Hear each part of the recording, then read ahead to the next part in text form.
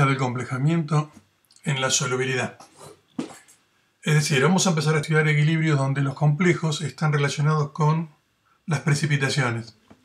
Y empezamos con un caso que es muy aplicado en ejemplos básicos de precipitación. El precipitado de cloruro de plata. Los precipitados de cloruro de plata que en la bibliografía aparecen simplemente como la relación entre plata y cloruro en el KPS, en realidad hay que tener en cuenta que es mucho más complejo porque justamente la plata forma complejos con los cloruros, con el propio ion que forma la sal insoluble, se compleja la sal.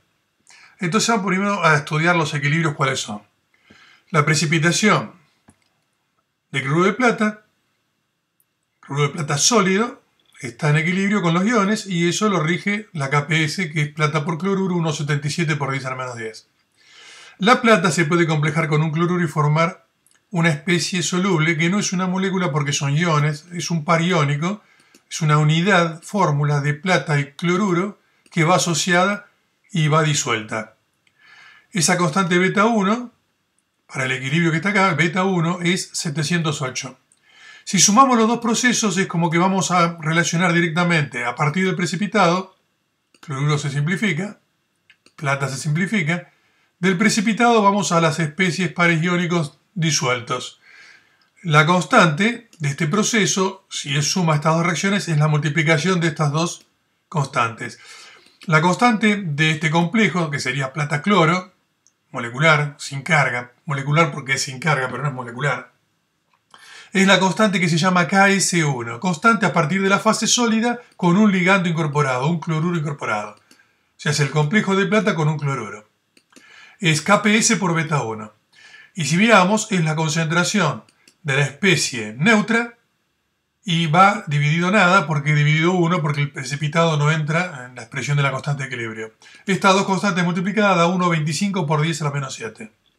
Se la conoce como solubilidad intrínseca y es algo que no varía, porque no depende de nada, es una constante.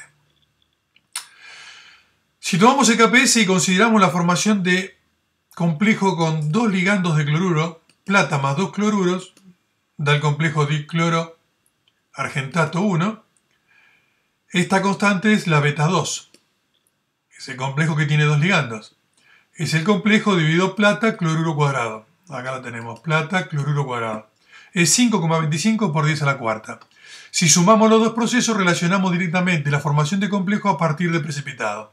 Plata se cancela, dos cloruros con un cloruro queda un cloruro, entonces el precipitado más un cloruro produce el complejo con dos cloruros. La constante se llama KS2, porque se forma a partir de la fase sólida el complejo que tiene dos ligandos, y por lo tanto es el producto de KPS por beta 2. es la concentración del complejo sobre cloruro. El sólido no entra en la constante de equilibrio. Si multiplicamos KPS por la beta 2, encontramos que vale 9,29 por 10 a la menos 6. Estamos tratando de relacionar todos los complejos con 1, con 2, con 3, con 4, siempre directamente a partir de la fase sólida y explicando de dónde sale.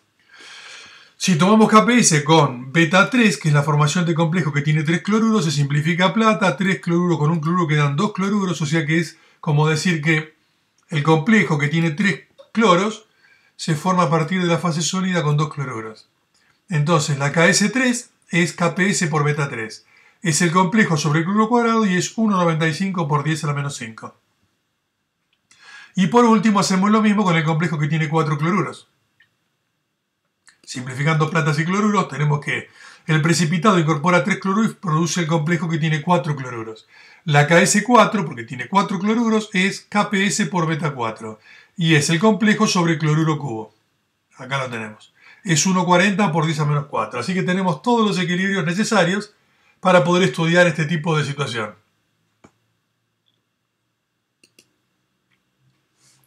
Escribimos los equilibrios nuevamente la precipitación con su KPS, la formación de primer complejo, complejo neutro, que es KS1 y es una constante fija, la concentración de plata-cloro en solución es una constante. El segundo complejo, KS2, es el complejo de biocloruro, acá tenemos su valor, lo mismo con la KS3, que relaciona el complejo con los cloruros directamente, a partir de la fase sólida, y el complejo con cuatro cloruros lo mismo, KS4.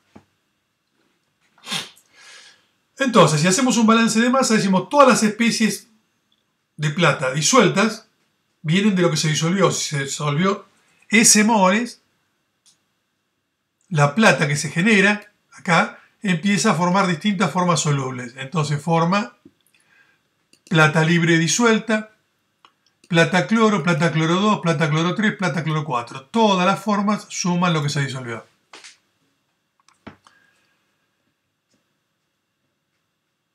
La solubilidad, si la queremos calcular, sería plata. Plata despejado de acá es KPS sobre cloruro. KPS sobre cloruro. El primer complejo es una constante fija. Es 1,25 por esa menos 7, no depende de cloruro. El segundo complejo, despejado de acá, es KS2 por cloruro. El tercer complejo, despejado de su constante, es KS3 por cloruro cuadrado. Y el cuarto complejo, despejado de su constante, es KS4 por cloruro cubo. Por lo tanto, si conocemos la concentración de cloruro, sabemos la solubilidad. O sea, estamos viendo cómo depende la solubilidad con la concentración de cloruro libre. Esto lo vamos a ver ahora en un gráfico.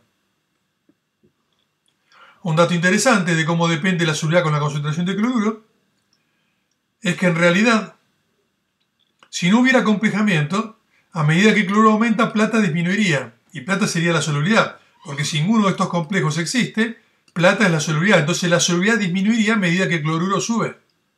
Si el cloruro aumenta, plata disminuye. Son esas curvas tipo hipérbola. Sin embargo, acá, al formarse complejo con exceso de cloruros, la solubilidad empieza a aumentar. Y entonces quiere decir que si baja y después aumenta, pasa por un mínimo. Vamos a buscar ese mínimo para poder graficar. El mínimo de esta función es encontrar la derivada. Entonces derivamos e igualamos a cero.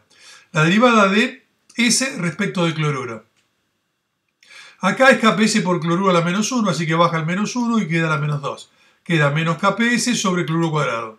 Acá es un número, la derivada es 0. Acá es una constante por la derivada de cloruro, que es 1. Acá es la constante por la derivada de cloruro cuadrado, que es 2 cloruros. 2 cloruros. Y acá es KS4 por 3 cloruro cuadrado. Ya está multiplicado por 3 cloruro cuadrado.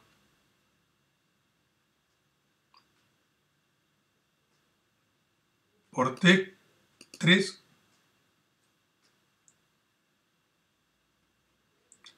cloruro cuadrado. Entonces repasamos. La primera derivada es KPS sobre cloruro cuadrado. La segunda es 0. La tercera es KS2. Acá es 2 veces KS2 cloruro y 3 veces KS4 cloruro cuadrado. Igualamos a 0.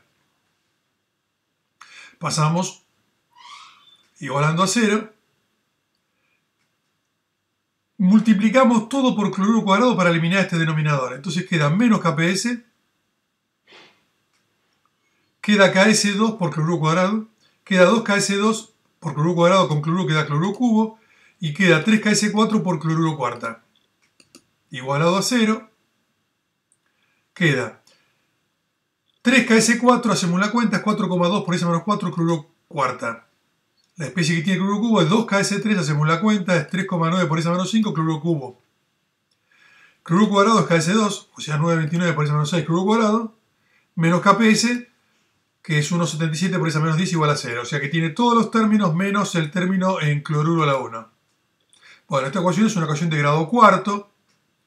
Se puede calcular y da 4,324 por esa menos 3, empleando calculadoras que resuelven polinomios.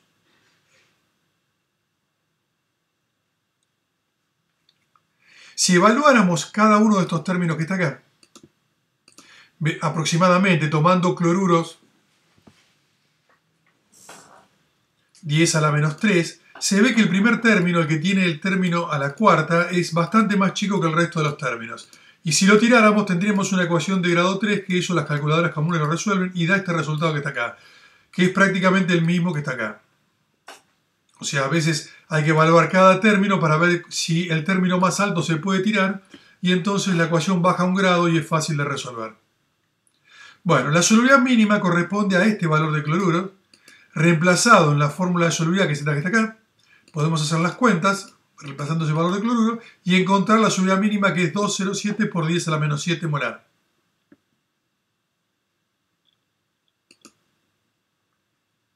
Entonces, plata podemos calcular todo, porque plata sería KPS sobre cloruro. Da 4,10 por 10 a menos 8. El complejo con un cloruro, el neutro, es 1,25 por 10 a menos 7, ya es dato directamente.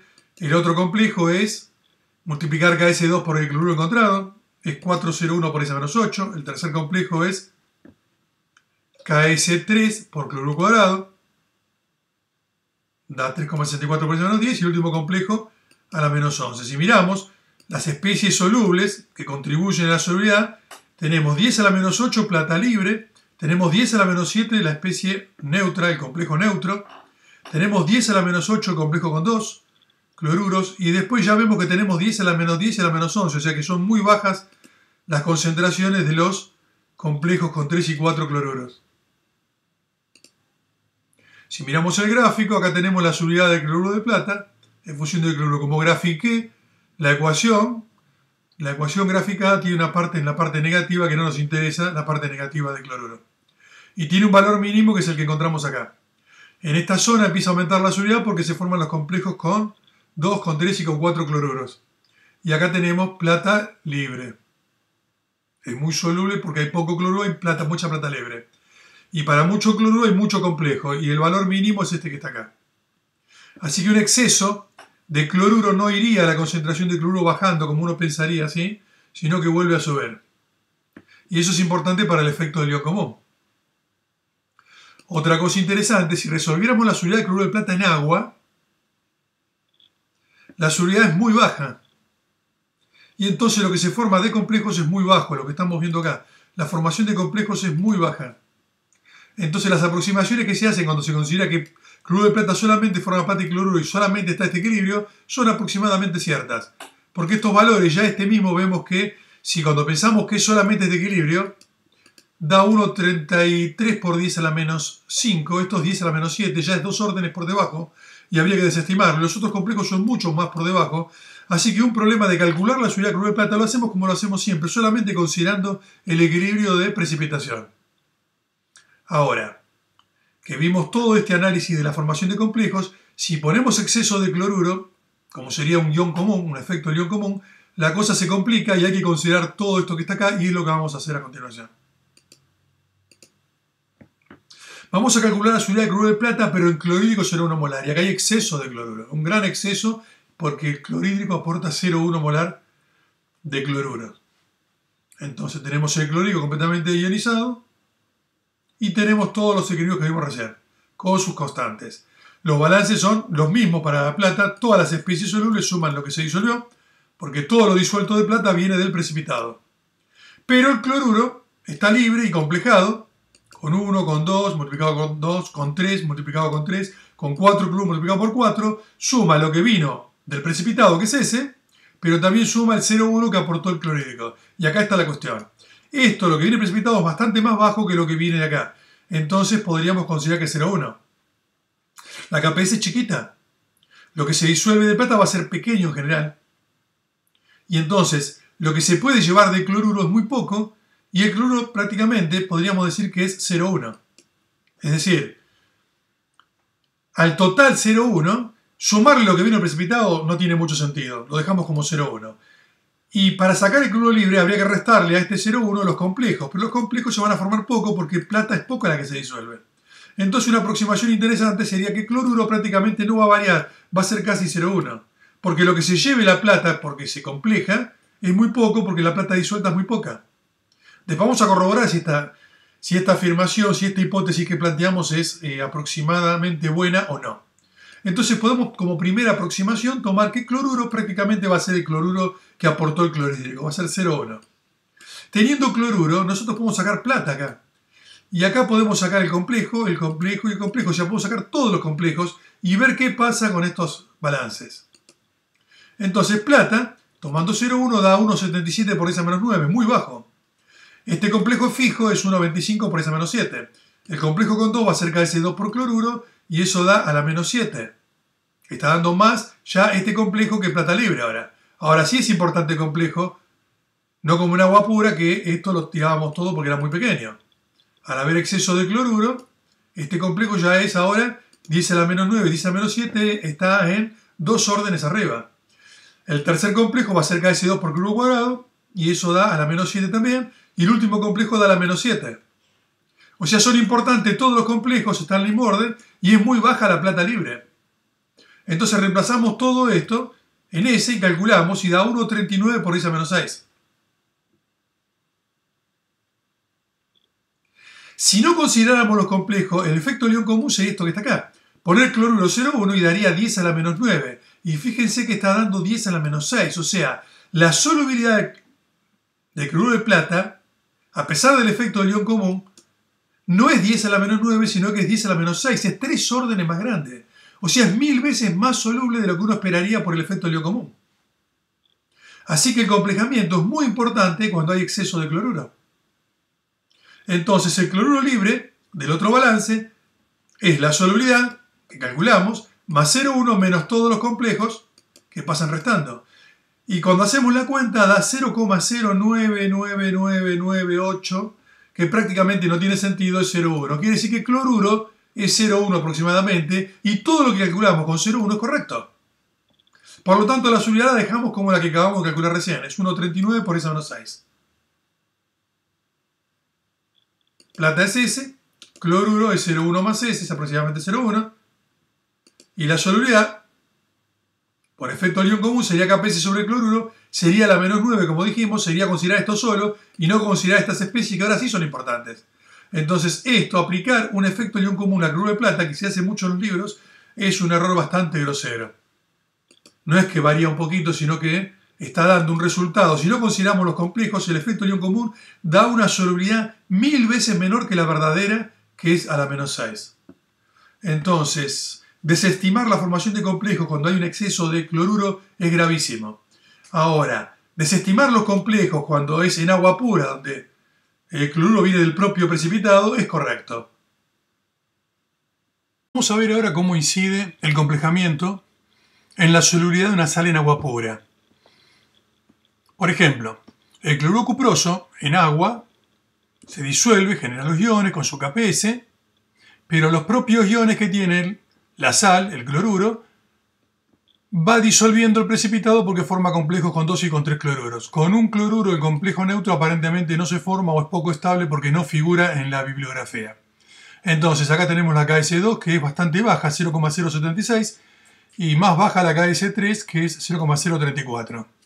Queremos ver cómo afecta este complejamiento en la solubilidad de la sal. Un balance de masa nos dice que si disuelve ese mole va a dar S de cobre inicialmente y S de cloruro. Pero el cobre va a pasar a todas las formas solubles. Entonces, lo disuelto que es S es cobre más 1 y los dos complejos. Y el cloruro tenemos que el cloruro va a estar como cloruro libre y como cloruro complejado. En este complejo hay dos cloruros, por eso va por 2. En este complejo hay tres cloruros, va por 3. Y acá tiene que sumar todo el cloruro que también vino precipitado y vale S. Como el ligando viene del precipitado, que es poco soluble, no hay exceso de ligando y tampoco son grandes las constantes. Por lo tanto, los complejos se van a formar muy poco. Y si estos complejos se forman muy poco, la primera aproximación que podemos hacer es pensar que cobre directamente es S y cloruro es S. Y si los dos valen S, se va a KPS, S por S, S cuadrado es KPS, y se resuelve y da 4,15 por esa menos 4, tanto cobre como cloruro, que es lo que se hace habitualmente cuando no se consideran complejos. No estamos resolviendo, sino tratando de estimar en qué valores andan todas las concentraciones. Entonces, sabiendo cloruro, 4,15 por esa menos 4, estimando cloruro, podemos estimar los complejos KS2 por cloruro y KS3 por cloruro cuadrado. Y dan 10 a la menos 5 y 10 a la menos 9. Esto claramente nos dice que el último complejo en los dos balances no tiene sentido dejarlo, es desestimable. Entonces vamos a trabajar con un sistema de ecuaciones que son los dos balances, pero solamente empleando el complejo que tiene dos cloruros. Es esto que tenemos acá. Y ahora resolvemos en forma exacta. Eh, las dos ecuaciones, los dos balances están igualados al mismo número S, por lo tanto se puede igualar el primer miembro con el primer miembro del segundo balance. Queda cobre más el complejo es igual a cloruro más dos complejos. El complejo pasa restando, acá queda un complejo. Entonces cobre lo despejamos de acá, es KPS sobre cloruro. Cloruro, y el complejo lo despejamos de la KS2, pasa multiplicando cloruro, es KS2 por cloruro. A partir de acá simplemente despejar cloruro. Este cloruro va a pasar a este lado. Primero podemos sacar acá un factor común cloruro. Queda 1 más KS2. Pasa multiplicando cloruro, pasa el paréntesis dividiendo. O sea, queda KPS sobre 1 más KS2. Y de este lado queda cloruro cuadrado. El cuadrado pasa como raíz cuadrada. Hacemos la cuenta, las constantes son datos. Y da 4,00 por 10 a menos 4. Es decir, tenemos cloruro calculado ya, no estimado. Habíamos estimado 4,15 por 10 a menos 4 y ahora da 4,00 por 10 a menos 4. ¿Por qué da menos? Porque parte del cloruro se fue en los complejos. Al dar menor cloruro va a dar un poco más grande el cobre libre. Va a dar 4,30 en lugar de 4,15, 4,30 por 10 a menos 4. Teniendo cloruro, vamos a la KS2 y despejamos el complejo y lo calculamos en forma exacta 304 por S menos 5 y el segundo complejo con cloruro cuadrado es 544 por S menos 9. Esto ya es calculado, está todo resuelto, tenemos las especies calculadas y vemos que realmente el complejo desestimado era muy chico. Es 4 órdenes, o sea, 10.000 veces más chico que el complejo que está acá. Y 100.000 veces más chico que cobre más 1. Entonces reemplazamos las concentraciones que encontramos para calcular la solubilidad. Este valor no tiene sentido sumarlo, así que prácticamente da 4,60 por 10 a la menos 4.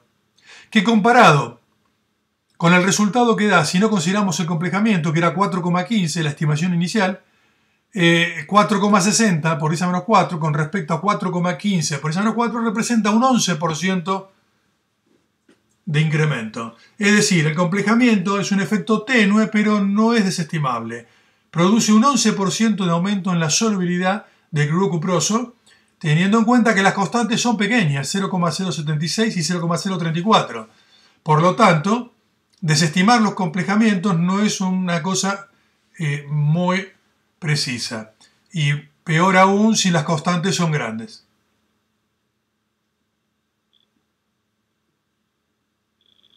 A ver ahora un problema diferente.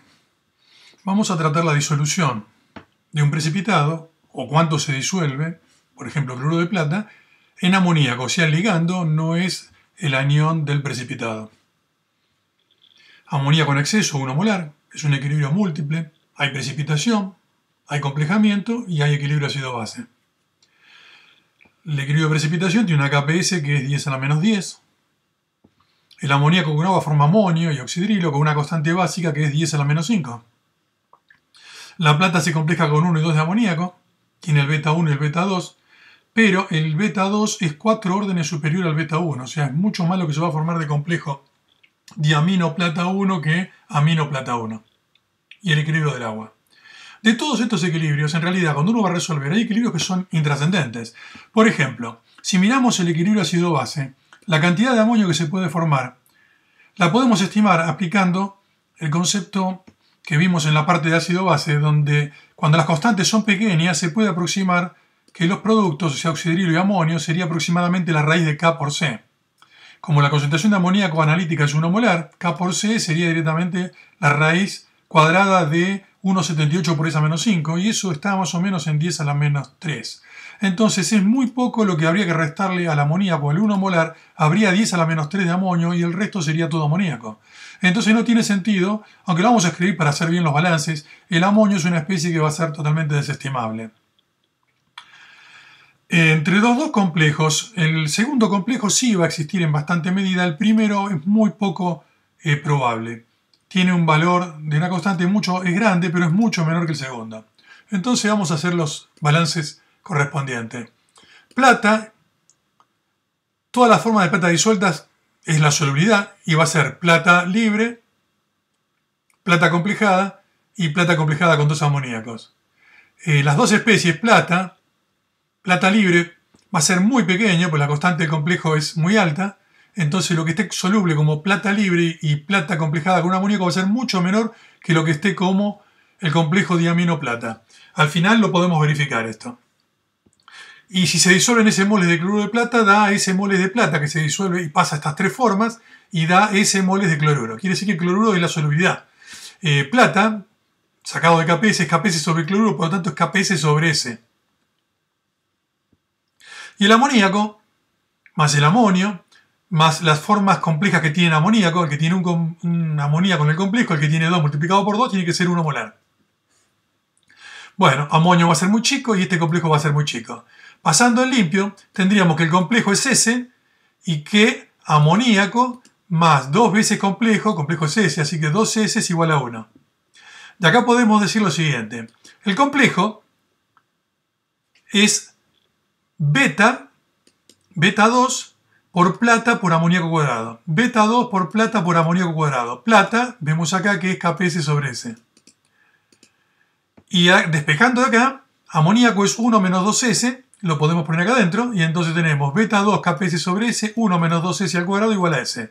Desarrollamos el paréntesis al cuadrado, primero pasamos el S multiplicando, que es S cuadrado, desarrollamos el binomio, tenemos esto que está acá, 1 menos 4S, 4S cuadrado, aplicamos distributiva, y juntamos todo en un solo miembro y sacamos factor común. O sea, S cuadrado con S cuadrado, pasa esto restando, queda S cuadrado factor común de 1 menos 4 beta 2 KPS. Después tenemos que pasa sumando para este lado 4 beta 2 KPS y pasa restando beta 2 KPS. Bueno, las beta 2 y KPS es dato, se reemplaza, así que tenemos un A, tenemos un B y tenemos un C, aplicamos la fórmula cuadrática y encontramos que la solubilidad es 0,0409, mucho mayor que si no hubiera amoníaco en el medio. S vimos que es cloruro, así que cloruro es 0,0409, pero ese también es complejo, porque prácticamente todo lo disuelto está como complejado. Entonces el complejo es 0,0409. El amoníaco, vimos acá que es 1 menos 2S, entonces 1 menos 2 por 0,0409, 0,918. Entonces vemos que de 1 molar 0,918 están con amoníaco. La diferencia sería lo que está como amonio. Sí, pero menos aún, porque la diferencia es lo que está complejado. Hay mucho amoníaco en los complejos, especialmente en este que está acá. Entonces, plata es KPS sobre cloruro, entonces es 1,77 sobre 0, 1,77 por esa menos 10 sobre 0,0409 da 4,33 por 10 a la menos 9. Estamos corroborando que acá plata es muy chico comparado con la solubilidad.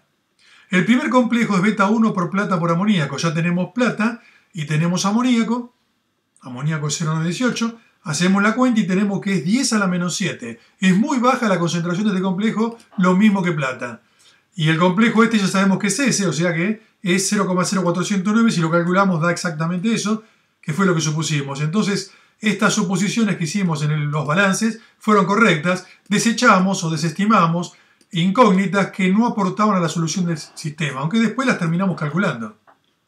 Pero el sistema de ecuaciones se reduce a algo más sencillo y entonces es fácil de resolver. Acá tenemos un diagrama de especiación para los complejos de la plata con el amoníaco y vemos que para P amoníaco 1, que sería 0,1 molar, nosotros estábamos trabajando con 1 molar, está casi todo prácticamente como plata amoníaco 2, o sea, como diamino plata, el complejo con 1 prácticamente no hay nada, es muchísimo menos, igual que plata, es muy bajo. Recordemos que plata está en 10 a la menos 9 y el primer complejo está en 10 a la menos 7 y, el complejo con dos amoníacos está en 0,04. Entonces estamos en una condición como esta, donde prácticamente está todo complejado con 2. Por eso la mayoría de los problemas de equilibrio de, de amoníaco con plata se toma solamente el complejo que tiene dos amoníacos y no se le presta atención al primero. ¿En qué momento este es máximo? Bueno, si lo tenemos graficado acá vemos que para P amoníaco 3,5, que significa P amoníaco 3,5 es amoníaco a la 10 a la menos 3,5. Eso es 3,16 por 10 a la menos 4. O sea, para 10 a la menos 4 molar aproximadamente, es el valor máximo del complejo que tiene uno y alcanza una fracción de 0,2, o sea, un 20%. Y tenemos un 0,4 de plata libre y un 0,4 de fracción de complejo diamino. Es decir, para 10 a la 3,16 por 10 a la menos 4 molar de amoníaco libre tenemos un 20% del complejo monoligado, un 40% del complejo biligado y un 40% de plata libre.